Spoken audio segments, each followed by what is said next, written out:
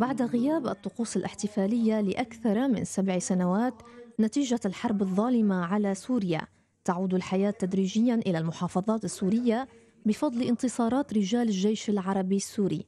ليحتفل أبناء الطائفة الأرمنية الأرثوذكسية بعيد الكنيسة الذي أقيم بكنيسة الأرمن في مدينة الحسكة. سوريا غنية غنية بشعبها شعب وفي تجاه الوطن.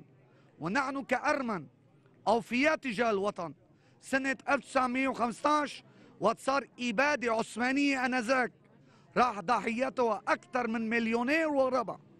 وسوريا حضنتنا من صحاري سوريا من صحراء دير زور كسب لاتك لاتقية طرطوس. وسوريا كانت أم استنشقنا هواء سوريا تراب سوريا خيرات سوريا.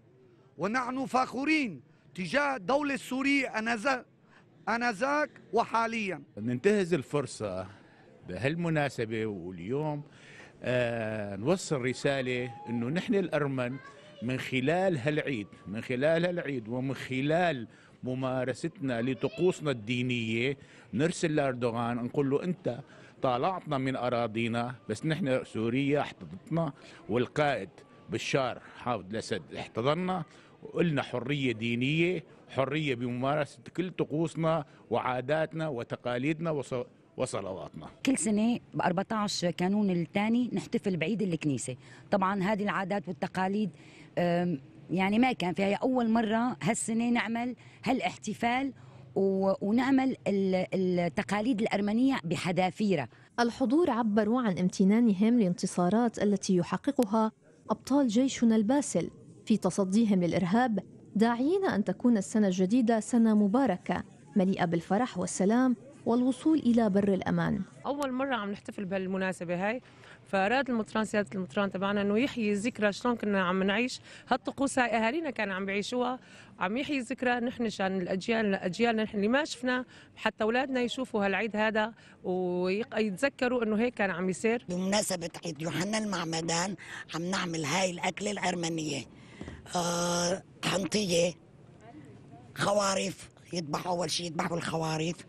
آه بعدين آه اللحمة والحنطية وقياس المي كله عم نحط مع بعض نشعل النار على الحطب نطبخن. بعدين هلأ كل الشعب طلعوا من الكنيسة بعد الصلاة بعد القداس تنوزع على الشعب. الله يرحم الشهداء كافة الشهداء في سوريا والله ينجي الجرحى يشفيهم. ويعطيهم الصحة والعافية. والله يخلي لنا سوريا سوريا هي الأم هي اللي تحضن العالم كله. تضمن الحفل الصلوات والقضاديس يليها توزيع مادة الهريسة الغذائية التي تحضر بهذه المناسبة والتي تتألف من لحم الخروف وحبوب القمح والملح. فقد عمل أبناء الطائفة من الشباب والشابات طيلة الليل لطبخها وتجهيزها لتوزيعها على الحضور.